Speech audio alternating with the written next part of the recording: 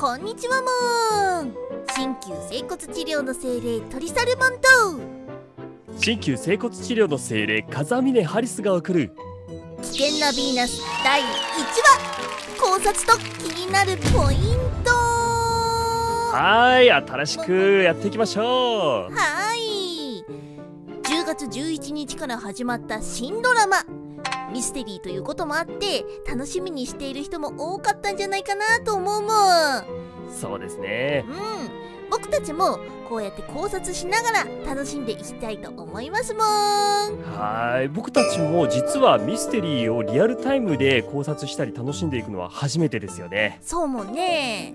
うん。これからね全話を通してどう展開していくのか。はい僕たちもね楽しんでいきましょうん。ではまず危険なヴィーナスとは？原作は多くのベストセラー作品を生み出している東野圭吾の同名小説。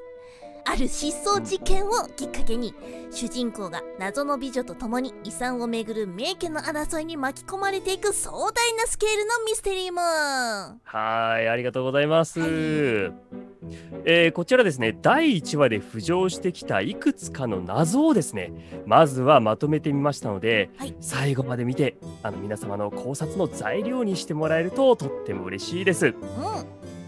ということでまずはドラマの最初の状況をですね、えーこちらで確認しておきましょう。はい。まずはですね危険なヴィーナスのスタート地点。さてこれが一番重要ですよね。うん。まずアキトの父コウジが既得のためアキトと楓はアメリカから帰国。しかしアキトは突然失踪したと。そしてアキトの失踪の真相を探ることがまず最初の目的である。というところで、えードラマがスタートしました。はい。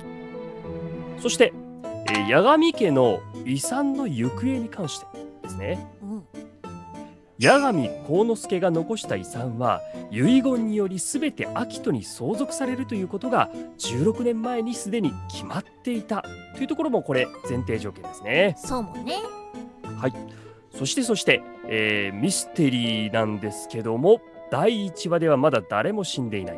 うんということで以上のことを頭に置いてですね1話で浮き上がってきた謎をですね紹介していきたいと思います。はいではまず謎1主人公白狼の弟アキトの妻と名乗る女楓が登場したもん。果たして楓は本当にアキトの妻なのか？そしてなぜ席が入っていないのか？というところもね。はい出てきました。これ一つ目の謎ですね。うん。これみんなねやっぱりあのー怪しいなって絶対思ってると思うんですよね。うん。うんどう思いますか？なんかもうあのまあ口だけだったら何とでも言えると思うもんよ妻です。はいはい。ねそうですね。なおそうなおかつやっぱ飛び抜けてなんかちょっと雰囲気がこう周りと違って浮いてる感じもしてなんかやっぱ怪しさ満点っていう感じはあるもんよね。そうですね。ううんまあ現時点で出てきてる情報だけでは正直まだね妻かどうかというのはわからないかなというふうには思うので、うん。まあ、この辺り真実がどうなのかというところがですね何話ぐらいで登場するのか、まあ、ここもねちょっとこれからの見どころかなというふうに思いますよね。はい。そして謎2アキトの置き手紙の意味と失踪の謎というところですねでこの置き手紙の内容はですねこういったことが書かれてあったもん。ちょっとしたミッションがあるので出かけます。というものですね。はい。はい。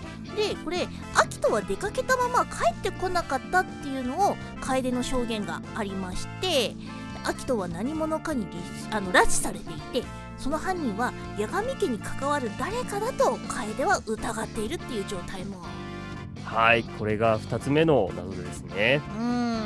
あのーこのですね置き手紙の内容ですね。うん。これは正直楓が自分で言ってるだけなので本当かどうかがわからないのはあの現在の状況だと思うんですよ。うんなんですけどももし仮にこの手紙の内容が本物だとしたらですねうんはい。何か意味がありそうじゃないですか。ちょっとしたミッションがあるので出かけます。うん。ミッションってなんだろうもんって感じもんよね。いやそこなんですよね。うん。うーん。なんとなくちょっと軽い感じがするんですよ。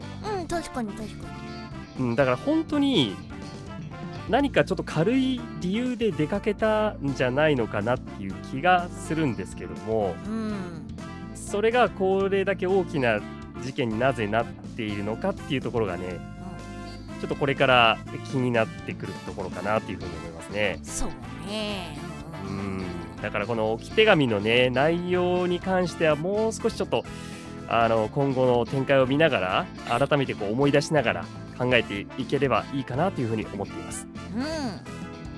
そして謎3第1話にて父浩二はアキトに背負わなくていいという言葉を白露に残したのその意味とは？というところだね。はい、うん。これはですね、はい。あの秋人のお父さん白老のまあ義父ですよね。うん。の、えー、浩二さんがですね、まあ、あのベッドで横たわっていて苦しそうにしている、えー状況の中で言われた言葉なんですけどもうん。パッと聞いた感じだと、まあ、遺産のことを言ってるのかなというふうに思いますよね。うん、僕もね最初そう思ったもん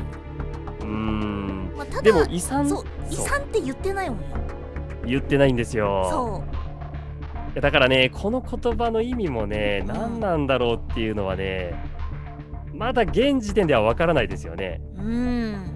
うーん。だからまあ一つのこのね今後第2話第3話と進んでいく中で出てくるはい。えっ、とまあ真実と照らし合わせてみてうん。はこの言葉の意味というのを後でこうちょっと考えていく必要があるのかなっていうふうに思いますね。いそうですね。うん。うんそして謎4白老たちが住んでいた家の写真に隠されていた鍵は一体どこの鍵かというところもんね。そうですね。うんあの写真立てのね裏に隠されていた鍵もよね。はい。うん。どう思いますか？うんなんか見た感じの鍵の形はなんか家の鍵とはまたちょっと違うタイプの形かなって思ったのとはい。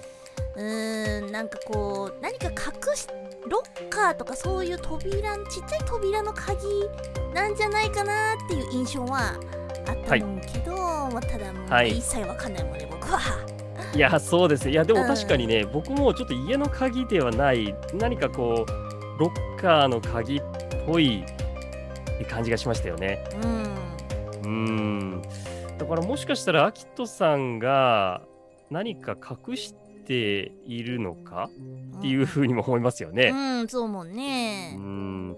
そう考えるとこの失踪もですね仕組まれたもので、うん。アキトが何かを探してほしくてあそこに置いたのかとかね。あーはいはうーんまあちょっとね現時点ではまだわからないですけどもい、うん、この鍵が意味があるものなのかそれともただのねうん。こうちょっと蒔絵みたいな形でうん。怪しそうに見せて実は全く関係ないものなのかって いうところですよね。うん、まあそのねなんでその昔住んでいた家の写真のところに隠してたのかっていうのもまあちょっと気になるっちゃ気になるのね。なんでその写真を選んだのかっていうね、本当そうですね。うん。うんうんうん。まあまあちょっとここも今後注目していきましょう。はいそしてそして謎5白老の母テイコの事故死は本当に事故死なのか？というところで16年前浴室で溺死したテイコさん。この浴室は中から鍵がかけられていたということで事故死として片付けられていたもんね。でちなみに第一発見者はテイコの妹金岩純子さんでした、はいそうですね。うんこれもおそらく皆さんそう思っているというかそういうふうに思その謎があるんじゃないかなって思ってるんじゃないかと思うんですよ。うん、うん、じゃなければああいうふうに紹介をしないですよね。そうもんね。うん、なんとなくね密室殺人のにこう匂いがするというかですね。うん。なんかそんなような雰囲気もありました。うん。うん。どうですかね。何か感じます？この昔の事件から。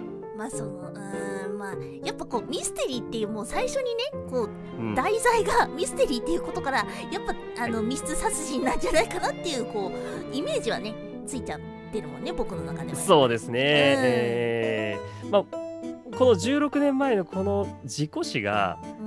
まあ、今回の失踪事件に何らかの形で関係してきているのかっていうところですよね。そうもね。えーここはねちょっともうちょっと先に進まないとわからないですけどもはいこれもおそらく今後出てくる真実と照らし合わせてうん。どうつながっているのかっていうのを考えていかなければいけない謎の一つなんじゃないかなというふうには思いますね。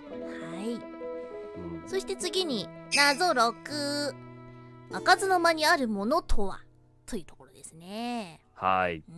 うん。これちはい。ょっと今ね喋ってて思ったんですけどうん。もしかするとあのアキトは遺産を相続させられたと同時にうんこの開かずの間の中にある何かもしかしたら鍵がないと開かない何かも相続させられたのかなとかね。あーなるほうどその鍵がさっきの鍵なのかとか。うんうんうん。うーん。あーなるほどね。どう思いますか？なんかそう言われるとなんかそんな感じもしてきてるけどね。いやでもねこれは本当に何のまだ証拠もありませんから本当にただの憶測ですよね。うん。はいまあそうね開かずの間まだね開いてないもんからどれぐらいの部屋のスペースだなのかっていうのものにもよってねどういうものが隠されてるのかっていうのは変わってくるとは思う思うけど何が隠されてるのか。えちょっと気になりますよね。あの最後開けろよって思思いましたけどね。そうそうそう 持ち越すいって思った。うんねえ。本当にちょっとひ、うん。これ何話で開くのかが楽しみですよね。確かに。本当に開かなかったらどうしようずっと。ねえ最後の最後まで開かなかったらどうしようって思いますけどね。うん本当に開かずの間もんよね。ねえ、うん。そして最終的には全く関係ありませんでしたみたいなえね。最後まで開かなかったと。そのオチでもまあ面白いですけども、ー、確かに、えー。まさにミステリーもんね。ミステリーです。うん。うん、そして最後の謎7第1話ラストにて八神巻を突き落としたのは誰かというところもねはい。うんまああのーそうですね。ここはうね、んいやまあわからないですよね。まだ現時点ではね。全くもってわかんないもんねうん。うんでも多分ねこの感じからするとそんなにうんあのー遅くないその話数のところで犯人は分かってくるんじゃないかなって気がするんですよね。おうおうおうなんとなく。うん。まあ、このね八神を突き落とした、えー事件と、うんえー、秋人の失踪が何か関係しているのかそれとも全然関係がないところの事件なのかですよね。そうねはい、パッとこう見た感じだと全てが連なってるようには見えますけどもうんこういうねミステリードラマってね実はいくつかの事件が同時に並行して起こってたりするのであそうだから全く関係ない話なのかもしれないですね。ーなるほど。あとねこの薪を突き落とされたけど、まだこの死んでるか死んでないかっていうのも分かってないもんからそはい。れをまた次の次回にはい。分かることもね、そういうことですね。ううん。まんああのこのね危険なヴィーナスミステリードラマの割には人が死んでませんので、はい、はい、だから何話でねうん。こう人が死ぬのか。まあこれはちょっと不謹慎な話ですけれどもうん。誰か死ぬのか。それともこのまま死なずに本当に遺産相続のなんて言うんでしょうね。やり取りっていうか争奪戦で終始するのか、はい。まあ、そこもちょっとね今後見ていきたいポイントかなっていうふうには思いますね。そうもね。はいはいまあねこう謎を今のところ7つ挙げてみましたけれども、ほんと謎だらけということですね。あの今回はまだ第1話ですのでうん。はいいくつかのこう種がまかれた状態なんですよ。はいそう。だからこの第1話で重要なのはこの謎をねこう明確に捉えておくことが必要。うんうん。そう。だからこの謎を2話3話4話と進んでいく中で、えー、とこの第1話でまかれた種と結びつけていってどうつながっていくのかっていうのをね見つけていくことが大事なので、うんうん、今回はこの謎を定義したっていうところで、えー僕たちの仕事はあー終わってもよろしいのかなというふうに思いますよね。うん、じゃあこのね挙げた謎を忘れないように今後あのードラマをね楽しんでいければいいなって思いますもんよ。はいですね。うん、ということで、えー第1話のこのポイントポイント的な考察と気になるポイントお送りしました。ははいい、最後にチャンネル登録と高評価のほどもよろしくお願いしますもん。お願いします。それじゃあみんなまた会おうもん。またお会いしましょう